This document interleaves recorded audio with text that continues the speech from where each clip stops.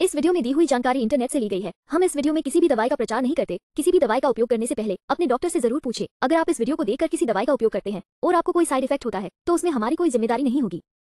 कैलिट्रिक्स tablet पोषण संबंधी सहायता प्रदान करके शरीर को लाभ पहुंचाता है।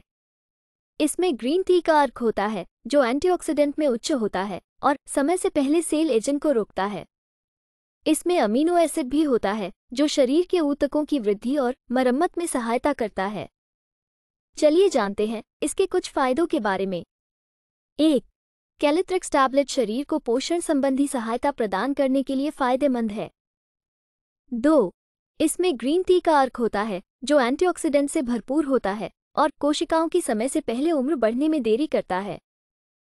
तीन, इसमें अमीनो एसिड भी होता है, जो शरीर के ऊतकों की वृद्धि और मरम्मत के लिए फ़ायदेमंद होता है।